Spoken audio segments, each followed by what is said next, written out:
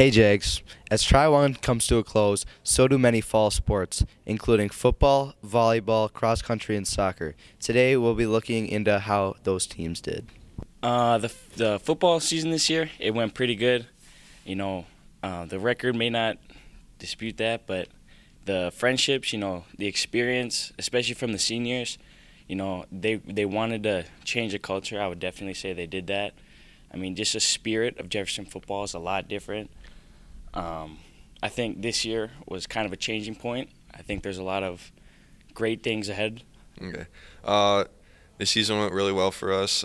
Uh, we won conference. We went to state. We were runner up at sections. That qualifies us, and pretty proud of what we got done this season. I hope to see you supporting our fellow Jaguars next year. This has been Galen Frankel with Jaguar Spots.